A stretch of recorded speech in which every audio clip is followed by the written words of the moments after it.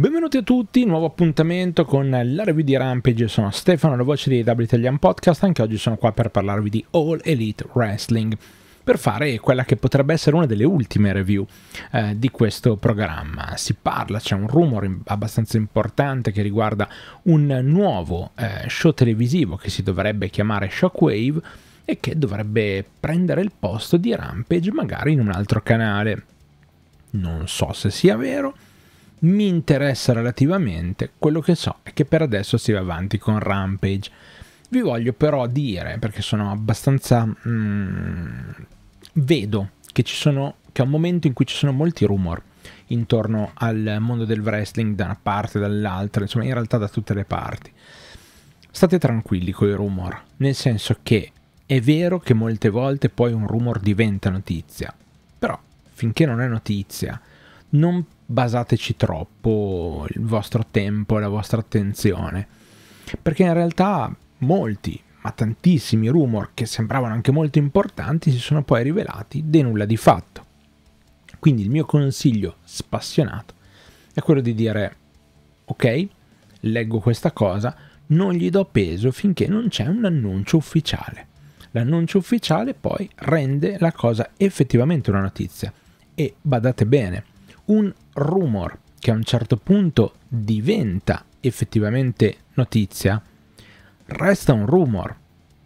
È la notizia che è la notizia. Ok? Le anticipazioni, i rumor, lasciano sempre il tempo che trovano.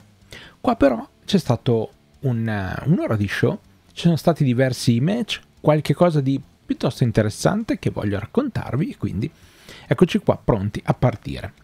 Iniziamo subito con Mark Brisco. Mark Brisco che batte um, un, uh, un Brian Keith secondo me in ottima forma. Stanno facendo molto bene il lavoro con Brian Keith perché quando deve fare la parte di intrattenimento è praticamente l'ombra di Jericho, ma quando è sul ring è il lottatore che abbiamo iniziato ad apprezzare quando è arrivato, insomma, in All Elite, quando era lontano ancora dal Learning Tree. Insomma, stiamo vedendo comunque un buon adattamento da parte di eh, Brian Keith all'interno delle dinamiche che correttamente lui deve andare a eh, lavorare. Quando deve fare eh, la parte extra ring la fa in un modo, quando deve andare in ring, vabbè, lo fa con il suo solito modo, che secondo me è molto molto interessante, tanto che era uno dei eh, lottatori indipendenti di eh, più su cui puntare maggiormente l'attenzione, ecco, diciamo così. C'è ovviamente la vittoria di Mark Briscoe, c'è un attacco ancora eh, ai danni della conglomeration, tra l'altro eh, da parte di Chris Jericho e di Big Bill e si va proprio a pestare ancora sia Orange Cassidy che Kyle O'Reilly, insomma si va avanti. Io credo che Chris Jericho mh, mm, abbia un po' il problema di togliersi dalle faide, cioè per entrarci ci entra per uscirne, mamma mia, che fatica. Hm? E quindi, boh, speriamo bene. Un altro match di Wheeler Utah, questa volta contro The Butcher. E il match è buono, interessante, non deve essere una cosa allucinante, ma eh, deve mostrarci un Utah eh, in progressione rispetto a quello che sta succedendo e lo è. Eh, questa volta non è distratto come nel match della volta scorsa, della settimana scorsa, con Anthony Henry e riesce a lottare meglio, chiude con, eh, questa, eh, con questa sottomissione che non molla alla fine, in modo molto aggressivo, c'è molta aggressione da parte di Wheeler Utah ed è buono perché l'aggressione non è sbagliata neanche per eh, Brian Danielson, quindi non ci stanno ancora dicendo da che parte andrà Wheeler Utah, è che io vado a immaginare, vado a pensare che o lo vogliono togliere completamente da quel giro del Blackpool, oppure alla fine rimarrà fedele ai suoi compagni. Ma lo capiremo ovviamente anche con le prossime puntate perché cominciano a essere decisamente cruciali. Eh, promo degli MXM invece con una giacca di Max Caster, lo prendono in giro per la stessa cosa per cui lo prenderei in giro io cioè lui va, in, va, dicendo di essere il miglior lottatore eh, di quelli insomma in attività in questo momento, cosa che non è vera. I due promettono ovviamente mh, mm, un extreme makeover della, mm, della, giacca e chiaramente va avanti la loro faida con gli acclaimed. Ikarushida invece torna sul ring, lo fa con Harley Cameron, un Harley Cameron che va quasi a vincere. Eh, viene spiegata eh, la situazione di Ikarushida che non ha più fiducia nella sua finisher, tanto che tergiversa nella parte finale e questo le costa quasi il match, eh, anche perché Saraya era lì molto attiva a cercare di dare fastidio, Saraya che ovviamente poi è stata fermata in queste sue azioni dall'arrivo di Jimmy Hater. Ikarushida chiude con la Falcon Arrow. Eh, Ikarushida, tra l'altro, sui social ehm, dice: Se ho qualche problema con la mia finisher, dovrei forse cambiarla. E sarebbe una grande cosa perché è una finisher veramente di merda. La katana non viene mai bene, e, ma sempre fatto cagare. Quindi se la toglie, guarda, sono stracontento. Di fatto, quindi una Ikarushida che mm, deve un attimino ricostruirsi, che però sembra molto presente in questo periodo, per cui ce la teniamo lì se dovesse anche migliorare un pochino. Questo match mi è piaciuto in realtà, eh. però sapete che io sono un po' un fan di Harley Cameron perché di base sembra sempre una persona un po' sotto, un po' indietro, non capace perché ha questo tipo di personaggio, ma funziona e sul ring funziona tanto.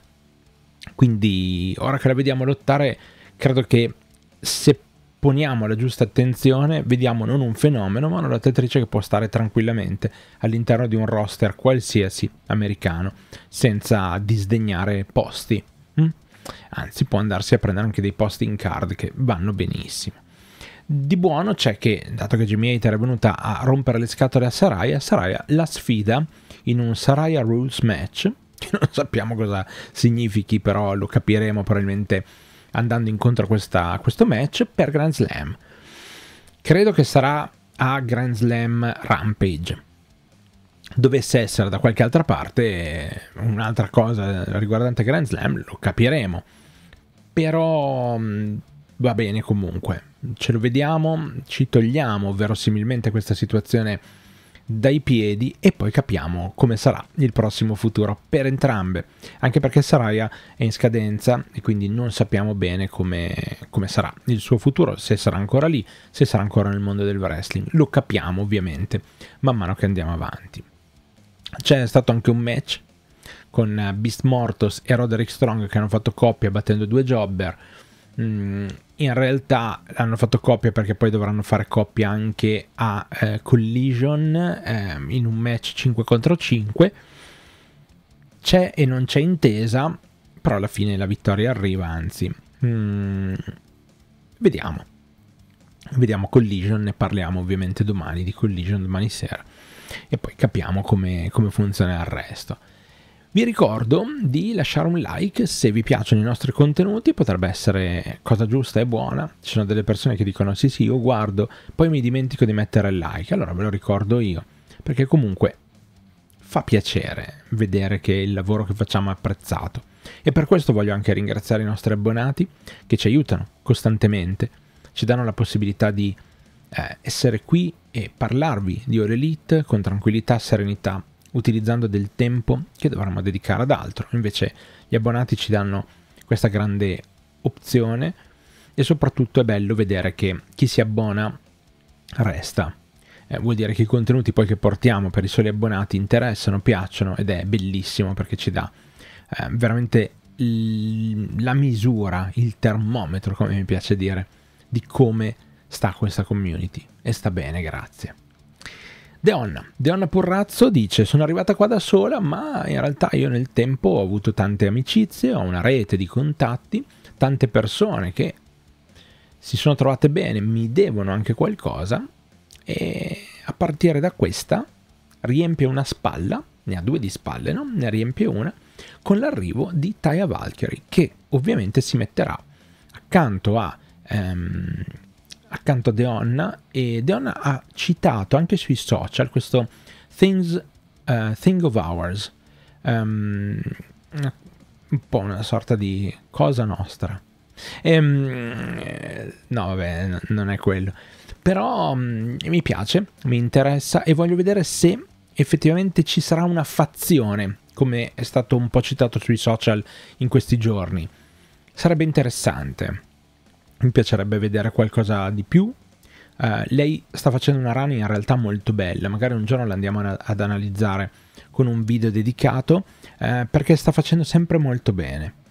È stata sempre inserita in faide, quasi mai ha fatto dei match fini a se stessa e sta lavorando bene nei promo, nelle situazioni, molto credibile, bene, molto bene. E forse abbiamo trovato anche nuovamente uno spazio per Taria. Non vedo l'ora non vedo l'ora veramente. Sono molto curioso. È un momento in cui il wrestling femminile della All Elite è davvero tanto, tanto, tanto interessante. È da un po' che è rilevante, ma così interessante, veramente bel lavoro. Ci è voluto del tempo, ma stiamo veramente vedendo cose molto, molto belle. Nel main event, invece, Nick Wayne ruba a Kip Sabian la vittoria.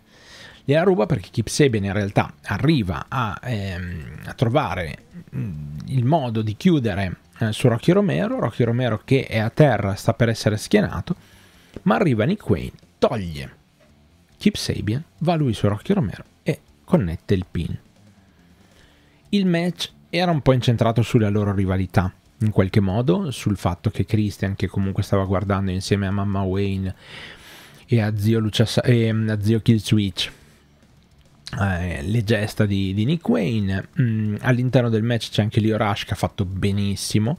Il match è molto scorrevole, molto bello, nonostante il picture in picture che mm, poteva abbassare un pochino il ritmo, invece è andata bene. Eh, un four-way che ha dato quello che doveva dare. Kip Sabian alla fine è molto frustrato da questa sconfitta e sono curioso di vedere dove andrà perché è una storia che pian piano si sta raccontando, pian piano stiamo vedendo e che ci sta eh, aprendo a delle possibilità e capiremo fin dove possiamo arrivare anche grazie all'andare avanti all'incedere della storia. Io credo di aver finito, vi ho raccontato tutto quello che è stato Rampage dal mio punto di vista, quello che ho dimenticato, quello che ho ehm, evidentemente mollato da qualche parte. Tra l'altro stamattina eh, mentre lo guardavo anche da curare un po' la, la gatta piccola che non stava benissimo, quindi vabbè eh, adesso sta meglio, quindi sono più tranquillo.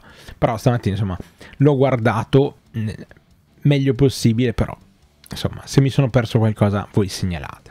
Eh, grazie di cuore a tutti per aver seguito. Io sono Stefano, la voce di AW Italian Podcast. Noi ci rivediamo. Alla prossima.